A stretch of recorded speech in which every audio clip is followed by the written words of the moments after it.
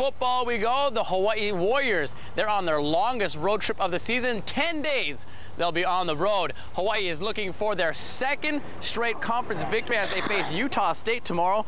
The Warriors have won all three games in WAC play against the Aggies, averaging 55 points a game, but UH isn't taking Utah State lightly, even though they have a 1 and 7 record. Uh, you know, they play well at home. You know, they took it to Fresno last week, and it's tough. They're, they're going to be a tough team. They're going to play hard, and you know, we kind of got to throw their record aside and just focus because we know it's going to be a battle going in there. You look on film, they, like Coach said, they look undefeated. They got athletes, they got guys who can run, who can, you know, throw the ball, whatever, and they're a great team. So we're going to have our hands full with them. Uh, kickoff for tomorrow's game is at 9 a.m. local time. And that rivalry in Utah, Weber State coach Ron McBride made his facilities available for the UH football team to practice in today. The Warriors experienced firsthand what it's like to play 4,000 feet above sea level, and Coach Mack also picked which QB will start against Utah State. Will Alexander be your starting QB? Yeah, uh, Greg's going to start for us, and uh, you know Inoke will play in the ball game, but but uh, you know Greg's uh, deserves opportunity to get out there and play, uh, but both of them will play. And despite their 1 and 7 record, Utah State will be no easy task for Alexander, who is making just his second start of the season.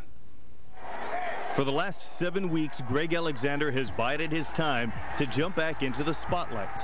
And last Saturday's game-winning drive with less than 20 seconds to go against Nevada gave the UH coaching staff the confidence that Alexander was ready to take the reins of Hawaii's offense. I, think, I mean, the difference is night and day.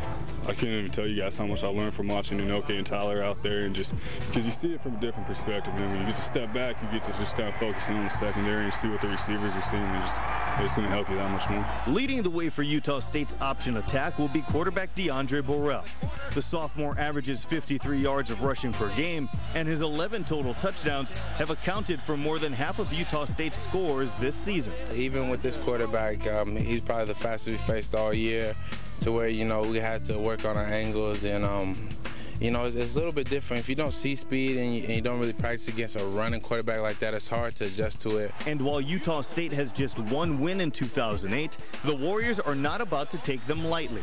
Fresno State needed a last-second 58-yard field goal to beat the Aggies last weekend. Yeah, this record don't show anything. They played top teams like BYU, they played, they play Boise, they play Fresno, they play a lot of good teams, and with just one win, you look on film, they, like Coach said, they look undefeated. And piling up wins is something that Hawaii needs to do if they want to see their bowl dreams come to life.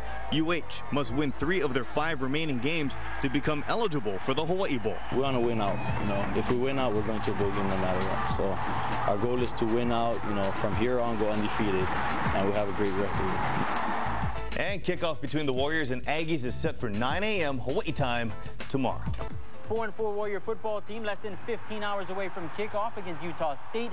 Hawaii has never lost to the Aggies in conference play, and to keep that streak rolling, they'll need to do it in some non-tropical weather, expected to be in the low 60s tomorrow. I think once we get out on the football field and everybody's adrenaline gets going, you know, the weather won't be a big deal. When it's time to play, it's time to play. Uh, talk to other guys uh, who usually play in that kind of weather, and they say they love it. So I don't know, just uh, hoping I won't be uh, frozen like a popsicle out there.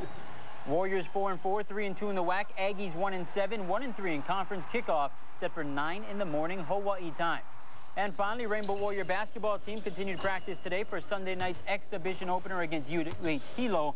And in the spirit of Halloween, we tried to find out what the guys in green have done for trick-or-treat time. What's your all-time favorite Halloween costume? Oh, I'm probably just gonna have to go with the traditional Superman costume with the mask and the cape. I don't know, maybe the I was a lion from Lion King back in the day, but that's that's all I can really remember. Wow. I don't know. Uh, I guess being a chicken uh, in one of these Midnight Madness games, you know, that was probably the, the highlight of it for me.